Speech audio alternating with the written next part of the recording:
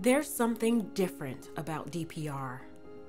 That's something, it's how we think and act. It's something deep at our core. We express it in two central beliefs respect for the individual.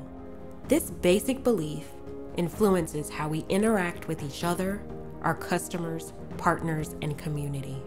We trust each other's competency, consistency, and intentions. While we love to build things, we're deeply interested in and committed to our people and customers. Change the world.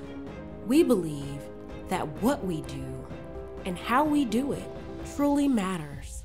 We're passionate about our culture, our work, and moving our company and the industry forward. We're inspired and spirited.